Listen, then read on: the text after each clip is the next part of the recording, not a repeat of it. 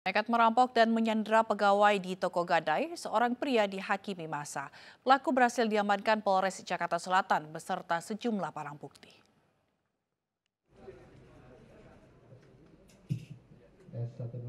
Polres Jakarta Selatan meringkus seorang pelaku perampokan yang terjadi di sebuah gerai gadai di kawasan Jagakarsa, Jakarta Selatan yang sempat viral di media sosial. Sejumlah barang bukti yang disita di antaranya senjata airsoft gun, uang hasil rampokan sebesar 33 juta rupiah, perangkas, laptop, CCTV, dan telepon genggam.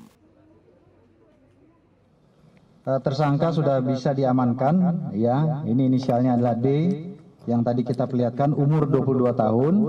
Kemudian ini korbannya adalah pegawai Indogadai dengan berpura-pura mengedaikan barang elektronik miliknya tersebut, yaitu eh, laptop dan juga HP kemudian dilayani oleh salah satu uh, korban yaitu nama SR.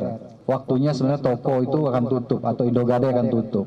Nah, pada saat posisinya di dalam akan menutup toko, kemudian ini ditodong dengan menggunakan senjata airsoft gun oleh tersangka. Ya, sehingga ini membuat takut daripada karyawan toko. Senin malam petugas polisi yang kebetulan melintas bersama warga mengepung pelaku perampokan toko gadai di Jalan Kafi 2 Cipedak, Jagakarsa, Jakarta Selatan. Pelaku yang beraksi dengan berbekal senjata api pun sempat menjadi bulan-bulanan warga. Polisi pun sempat melepaskan tembakan peringatan ke udara.